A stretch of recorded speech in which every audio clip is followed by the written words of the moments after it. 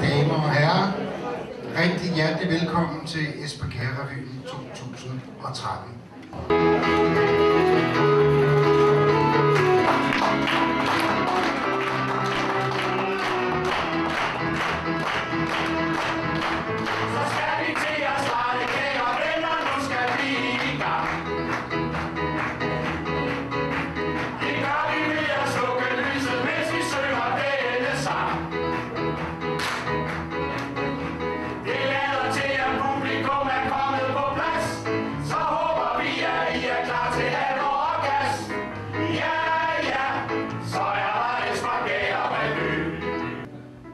godt, jeg har et ansvar for krisen her i landet, men i mange år troede jeg, at vi faktisk kunne gå på vandet. Vi var så tæt på at krakke, så derfor vil jeg gerne takke for den statsligt finansierede Lars Lykke hjælpepakke. Det har da også givet os lidt ekstra milliarder. Herre Gud, bare fordi vi var en smule smartere. Og hvis Lillebælsen, det er ikke set er på vej, at skal ud og rulle i lokalområdet, så vil jeg naturligvis anbefale denne Brio Panzer barnevogn. Den er 100% armeret stål og med en kalesje af paraamide kævlerfibre.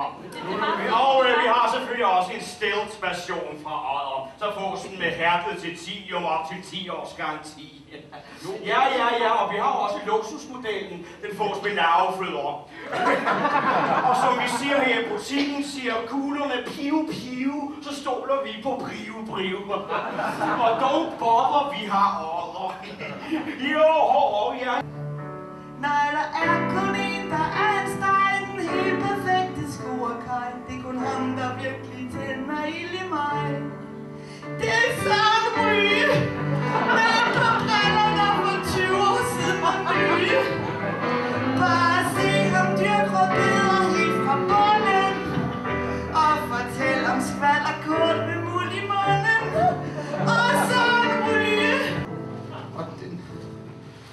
den tager jeg nogle gange på for at blive bedre humør. Og så hjælper det måske bare selv.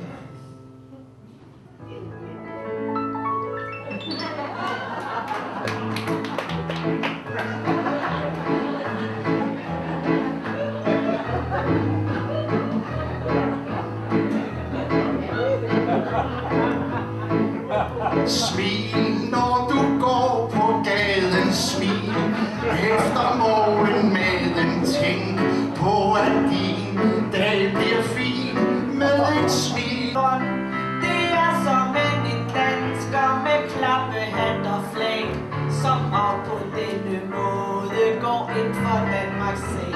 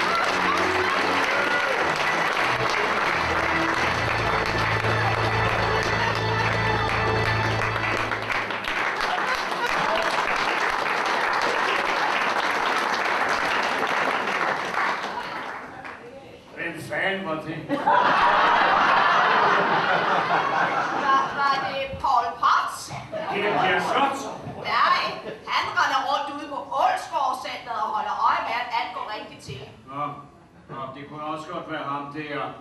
Ham der fra Esbjerg-revy, Hvad hvad hedder han? Ja, er det ikke- er det ikke noget med Si- Silas eller sådan noget? Nå, ham? Nej, han er i Kalmar.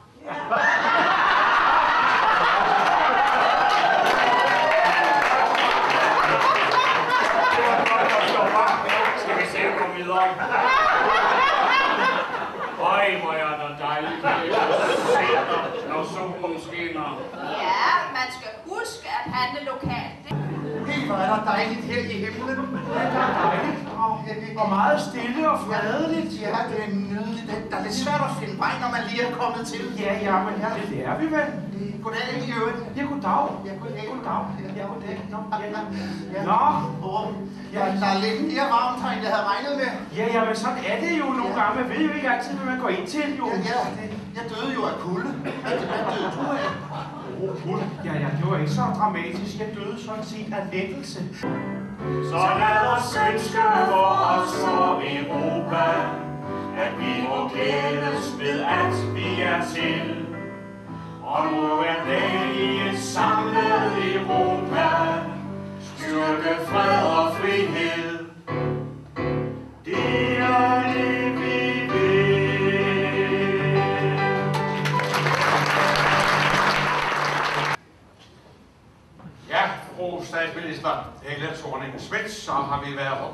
psykiatrisk afdeling her, og som det meget tydeligt ses her, er vi kommet til den alvorlige, men lukkede afdeling her, ikke? Øh, skulle der her til slut i rundvisning være nogle spørgsmål, så skal det være villig til at besvare dem. Ja, jo, men jeg har faktisk et spørgsmål, jeg gerne Ja. Øh, hvordan finder I ud af, om folk er gale nok til at blive indlagt her? Jo, se, der gør vi det. Vi fylder et badekar med vand, Ja, og så får de udleveret en teske ja, og en kop ja, og en bøtte, ja. Og så beder vi dem om at tømme badekarret så hurtigt som muligt. Aha, ja. Og, og de normale, de bruger vel bøtten til at tømme det der kar med. Og statsminister, de helt normale, de bruger det at trække proppen op. Vi skal se.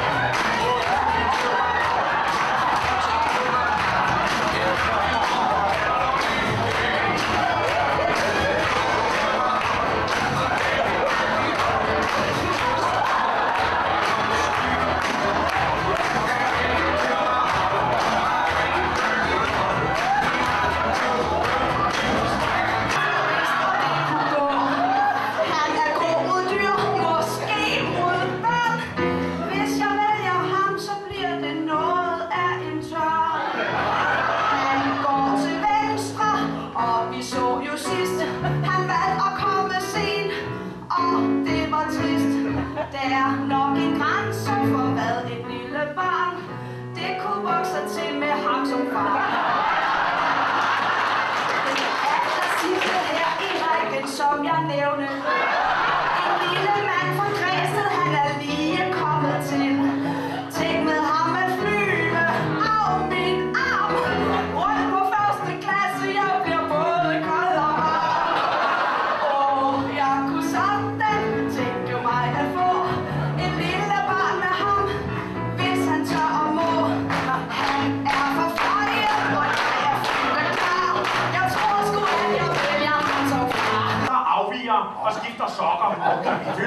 Helvede, hvor er du langt til, mand. Sådan en, en perverteret pensionist. En, en sokfixeret seksualforbryder. Fy for helvede, sådan en... Okker, gokker, børnelokker, pas på ham med de sorte sokker. Sekunder, og han pressede ellers godt. Hvor var det godt? Ja tak. Altså, jeg vil sige, at øh, da han begyndte på det med, med barnet og sønnen og alt det her, så var jeg så tæt på i op. Det skal du ikke være bekymret om. Hvis du kan få vores kunder til at forsvinde lige så hurtigt, så er du lige den slags støvning, vi har brug for i Danske Bank.